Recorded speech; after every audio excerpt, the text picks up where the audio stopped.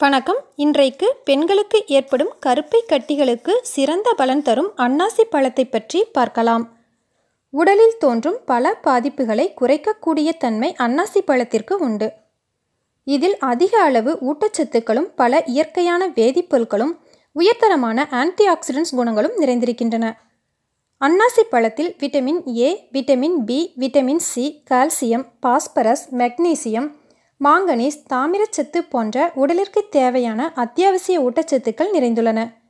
எண்ணற்ற பிரச்சனைகளை குணமாக்க உதவும் இந்த பழம் இன்று பெண்களை அதிகம் பாதிக்கக்கூடிய கருப்பை கட்டிகளுக்கும் சிறந்த மருந்தாகவும் உணவாகவும் பயன்படுகிறது. அவற்றை பற்றி இப்போது பார்க்கலாம். இதுவரை நமது அஸ்வம் தமிழ் ஹெல்த் சேனலை சப்ஸ்கிரைப் செய்யாதவர்கள் இப்போது சப்ஸ்கிரைப் செய்துவிட்டு பக்கத்தில் இருக்கும் பெல் பட்டனையும் கிளிக் பண்ணிடுங்க இது போன்ற புதிய பதிவுகள் உடனே உங்களுக்கு வந்து சேரும். அன்னாசி பழத்தில் உள்ள விட்டமின் சி பிரம்மலைன் என்னும் வேதிப்பொருள் நாச்சத்து போன்றவை உடலில் உள்ள கட்டிகள் வீக்கங்கள் ரணங்களை சரி செய்யக்கூடியது. உடலில் சேரும் கழிவுகள் நச்சுக்கள் கிருமிகளை வெளியேற்றி இரத்தத்தை சுத்தமாக வைக்க உதவுகிறது.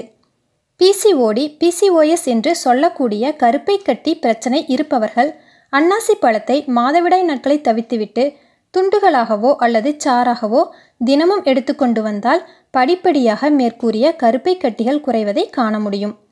இப்பழத்தை சாறாக எடுத்துக்கொள்ளும் பொழுது வெள்ளை சர்க்கரை சேர்ப்பதை தவிர்த்துவிட்டு விருப்பப்பட்டால் தேன் பனங்கற்கண்டு நாட்டு சர்க்கரை போன்றவற்றை பயன்படுத்தலாம். அன்னாசி பழத்தை தினமும் எடுத்துக்கொள்ளும் பொழுது கருப்பையில் உள்ள நச்சுக்கள் கழிவுகள் கிருமிகளை வெளியேற்றும் ஒழுங்கற்ற மாதவிடாயை சீராக்கி மாதவிடாய் சுழற்சியை மேம்படுத்த உதவும்.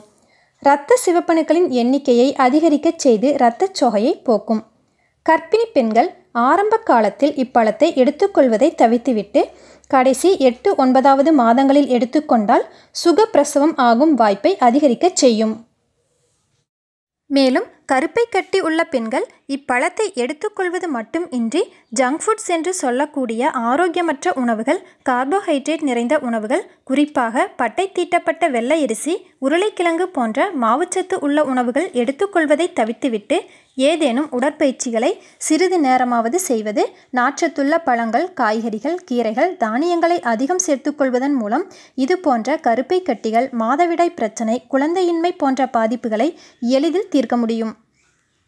இந்த பதிவு பயனுள்ளதாக இருந்துச்சுன்னா லைக் ஷேர் கமெண்ட் பண்ணுங்கள் புதிதாக பார்க்கும் நேயர்கள் நமது அஸ்வம் தமிழ் ஹெல்த் சேனலை சப்ஸ்கிரைப் பண்ணுங்கள் நன்றி.